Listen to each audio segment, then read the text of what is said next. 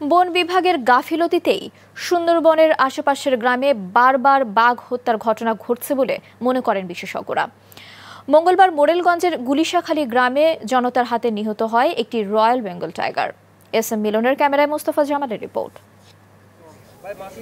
বাঘের এমন অবাধ সাঁতার সুন্দরবনে একসময় দেখা মিলবে তো? কারণ এমনিতেই দিন দিন বনটিতে কমেছে বাঘের সংখ্যা। তার উপর প্রায় মানুষের আক্রমণে নিহত হচ্ছে বাঘ। গত কয়েক মাস ধরে সুন্দরবনের আশেপাশের গ্রামে বাঘের আনাগোনা বেড়েছে। মূলত গৃহপালিত পশু পাখি তাদের লক্ষ্য হলেও সুযোগ পেলেই মানুষের উপর হামলা করে সেগুলো। এলাকাবাসীর অভিযোগ লোকালয়ে বাঘ আসা ঠেকাতে কোনো উদ্যোগ নেয়নি বন বিভাগ। শীত কড়া শীত পড়বে বাঘ চলে আসবে। বহুত আপনার সমস্যা ওই গরু নাই ওই কুকুর নাই কে ছাগল নাই। মানুষ তো ভয়ঙ্কর মানুষ তো অবস্থা বেশ ভালো না। গ্রাম সাইডে আর এক গ্রাম যেতে হয়। আগে টলের ব্যবস্থা করতো ফরেস্ট ডিপার্টমেন্ট সম্মিলিতভাবে এখন সেগুলো ইদানিং দেখতেছি না।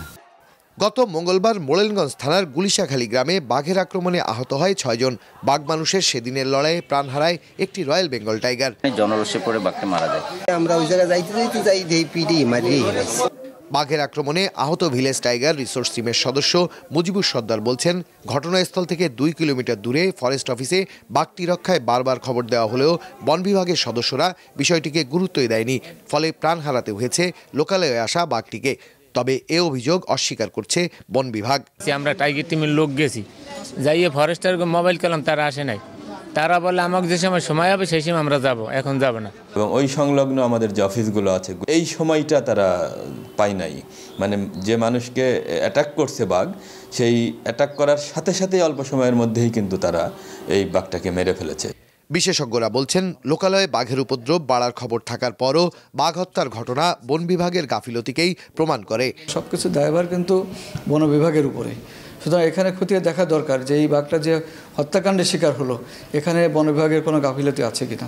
বন বিভাগের পরিসংখ্যান অনুযায়ী দু হাজার এক সাল থেকে এ পর্যন্ত বিভিন্ন কারণে পঁয়ত্রিশটি বাঘ হত্যাকাণ্ডের শিকার হয়েছে, যার মধ্যে লোকালয়ে নিহত হয়েছে পনেরোটি। মোস্তফা জামাল মাছরাঙ্গা সংবাদ, খুলনা।